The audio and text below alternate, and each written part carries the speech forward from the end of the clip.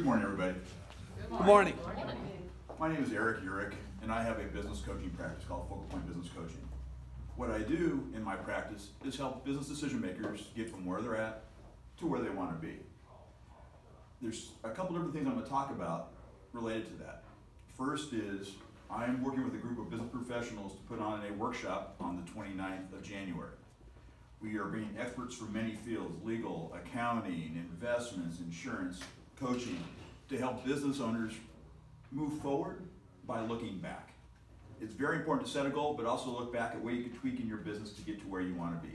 So if you have interest in that, it's twenty dollars to attend. I'm happy. I have some flyers I'm happy to share with you and help you or people you know that are on a business journey.